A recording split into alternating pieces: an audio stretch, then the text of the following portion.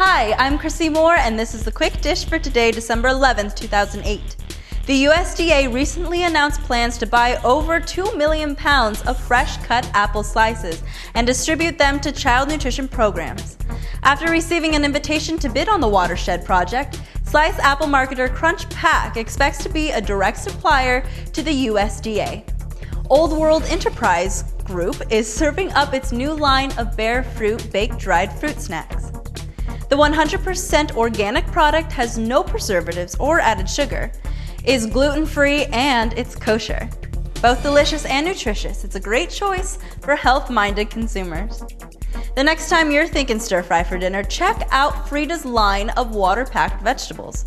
The varieties include water chestnuts, bamboo shoots, and baby corn.